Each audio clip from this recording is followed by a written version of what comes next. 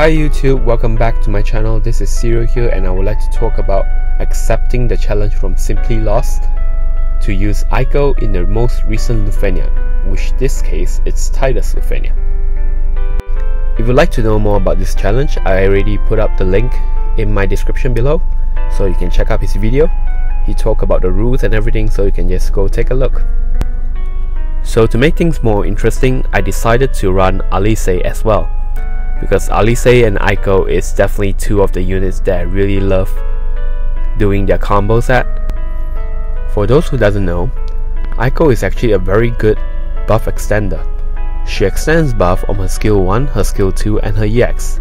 That makes her very suitable to run together with Alice, considering Alice always get free action from her buff.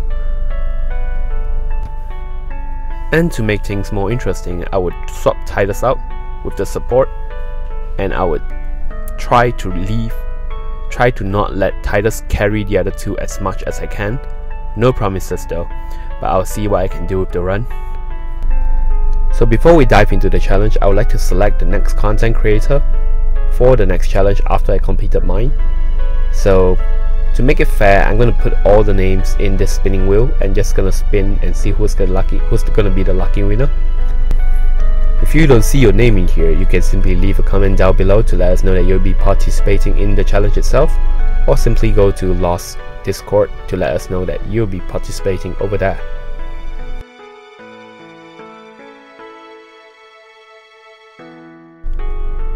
So apparently Xcalibur is gonna be who I'm gonna nominate for the next challenge. And as for the character itself, I'm gonna use this rendered number generator to select a new unit that he'll be using. And the winner is Snow from Final Fantasy XIII. So good luck pal, and I'll see you in the next challenge.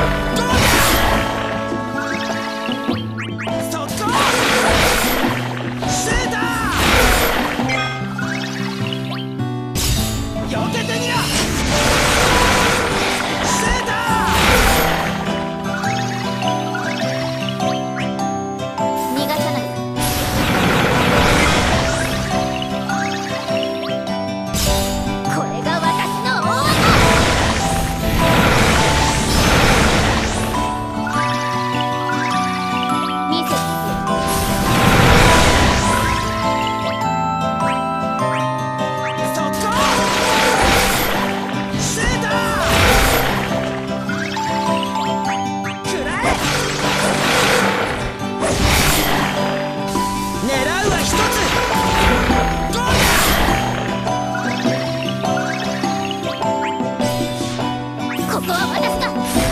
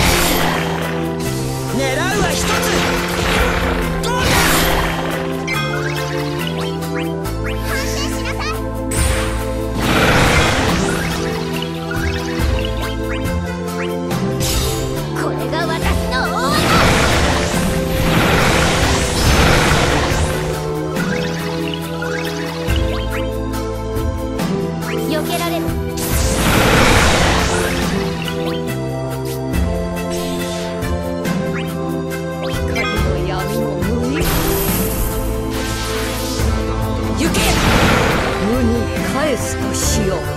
それ。これがわしとの差だ消え去れ。